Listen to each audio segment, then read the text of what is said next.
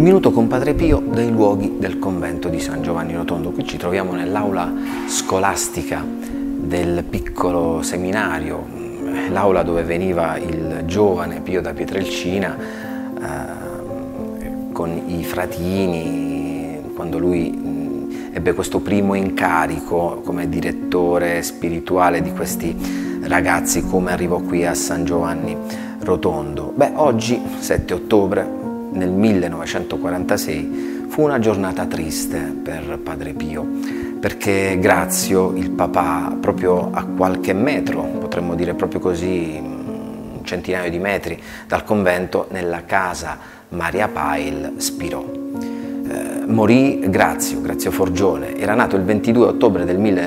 1860 a Pietrelcina, si sposò l'8 giugno del 1881 con Maria Giuseppa Denunzio, da cui ebbe ben otto figli. La vita di questo uomo fu densa di lavoro, eh, sofferenze e molti sacrifici, non ultimo quello di emigrare per ben due volte negli Stati Uniti per realizzare il desiderio del figlio in vista del suo sacerdozio. Un uomo forte, sereno, il suo quotidiano lo passò tra la dura vita eh, dei campi e le gioie semplici ma allegre della famiglia. Dalla mattina alla sera Grazio lavorava eh, il terreno che aveva di proprietà a Piana Romana cercando sempre di dare eh, al crescente nucleo familiare eh, il necessario e poi anche lui come mamma Peppa volle così terminare la sua vita terrena qui a San Giovanni eh, Rotondo e fu ospite dell'americana Maria Pailo. Ogni giorno veniva qui in convento per partecipare alla celebrazione eucaristica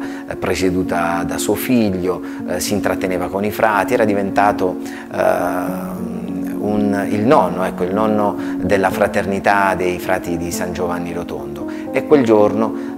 morì. E, mm, di, questo, di, questo, ultimo periodo l'archivio, eh, il nostro archivio, l'archivio della voce di Padre Pio, conserva due scatti straordinari che vedono eh,